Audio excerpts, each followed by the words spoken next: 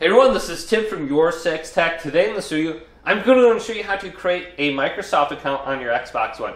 So I'm going to go to my account and then go to sign out right here and then go to the login page and I'm going to go to add new and I'm going to create a new Microsoft account right now. So it's loading this page and it says sign in. If you have a Microsoft account, use that here. Otherwise, enter in your preferred email or phone number to create a new account.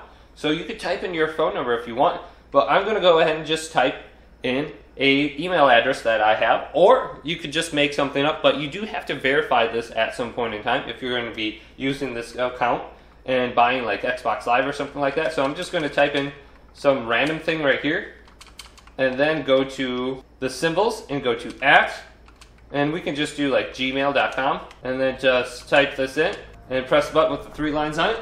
It'll bring us to the next page. And then it says create your account. So I'm just going to type in Timbo for my first name, and then press the button with the three lines on it, and then just type in something for your last name. All right, and then pick a password. Type in a password. So just type some random thing in. So let's just type this in, see if this works. Now, press the button with the three lines on it, and confirm your password, and just go ahead.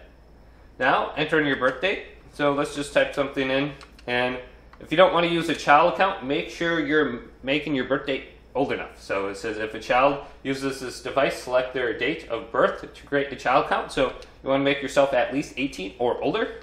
So let's go to uh, the year 2002 and then go to next.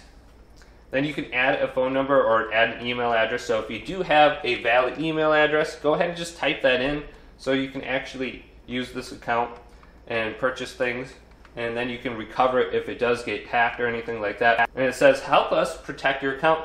Passwords can be forgotten or stolen. We need some security info to make sure you're you.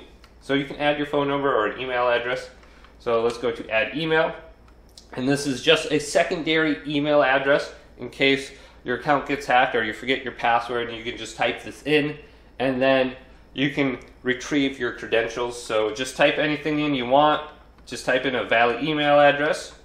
So let's just type a random thing in and just see what works. So let's go to the symbols and go to the at symbol and then just type in gmail.com and then go to next. So here's .com, go to next. Says, would you like to receive information about Microsoft pro products and their safety agreements? I, I said no. So let's go to next now. Now, before you can use your account, you are going to have to sign in with your email address to verify it's you. So this is the section. They want you to enter in that specific code. So you do have to use a valid email address. So if you mistyped your email, you can just go to typo in your email address, and then you can change your email address right here if you forgot it. All right, so I typed in a valid email address, and I was able to verify the code via an email.